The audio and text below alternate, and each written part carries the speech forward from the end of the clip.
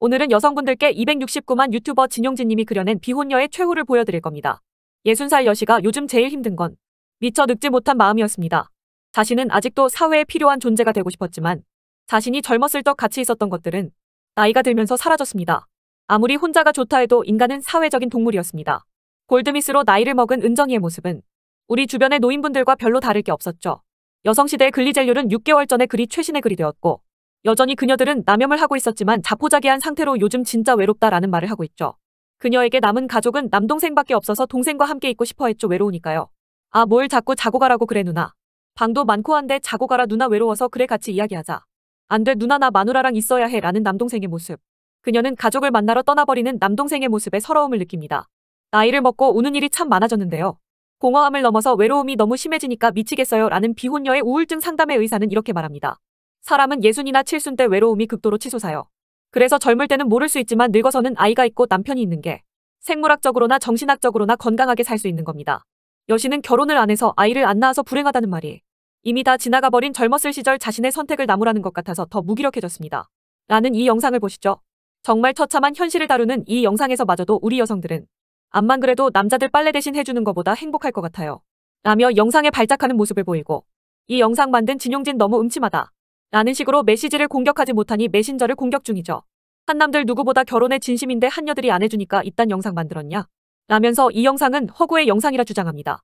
자 그렇다면 과연 진짜로 이 영상은 거짓된 영상일까요?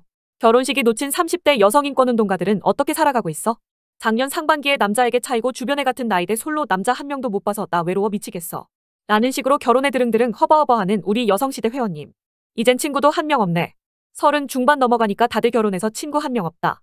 비혼이라 연애는 생각이 없는데 이래서 결혼하나 싶어 라는 식으로 비혼인데 친구가 없어서 외롭다는 여성. 20대 때는 친구가 진짜 많았는데 서른 중반 되니 고독하다는 여성들의 공감. 40살 매갈 비혼은 나뿐이라 외롭다. 외로워서 동호회 활동 여러 가지 하는데 다들 결혼해서 미치겠어. 라는 식으로 친구가 없다는 매갈 비혼녀. 여시들 나 비혼인데 혼자 어떻게 살아 너무 외로워. 비혼녀인데 명절에 혼자 있으니까 독거노인 같고 마음이 안 좋더라. 나도 그래 우울해 나도 그래.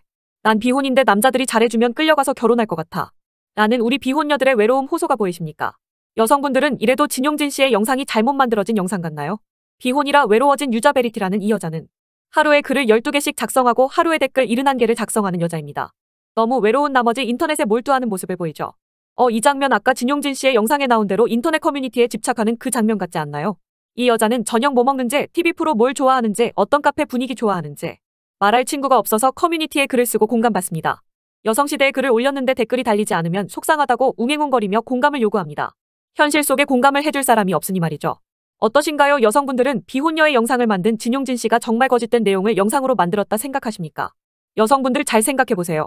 당신이 과연 지금 살아온 날보다 3배는 더 많은 날을 살아야 하는데 그 시간을 홀로 보낼 수 있는지 말이에요. 영상 여기서 마칩니다.